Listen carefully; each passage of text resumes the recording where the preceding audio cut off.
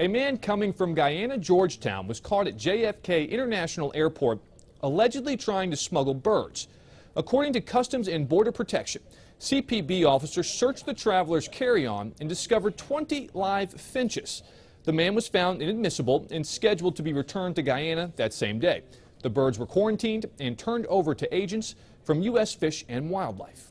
Matt Yurus for CBSNewYork.com.